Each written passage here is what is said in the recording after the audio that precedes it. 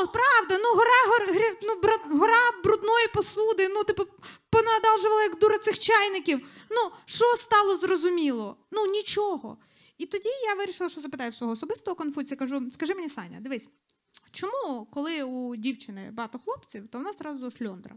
А якщо у хлопця багато дівчат, то він мачо. Він каже: Ой, слухай, ну тут це просто. Дивись, якщо ключ підходить до всіх замків, то це охеренний ключ. Ну якщо до замку підходять всі ключі, то це хуйовий замок.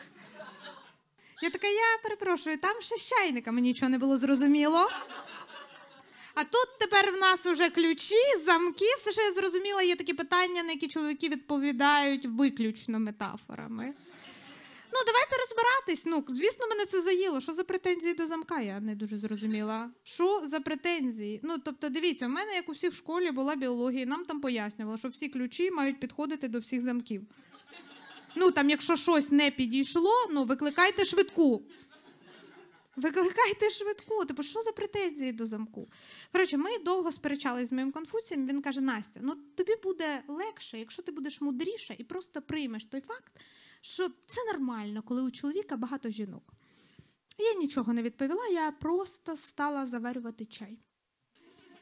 А затим поставила на стіл чотири чашки, налила в кожну кип'ятку, взяла пакетик принцеси Нурі, потикала в першу чашку, в другу, в третю, в четверту, викинула нахер цей пакетик і дала йому попити з четвертої чашки. Кажу, ну що, подобається? Він каже, не подобається. Кажу, от бачиш, як будеш тикати свій пакетик в усі чашки підряд.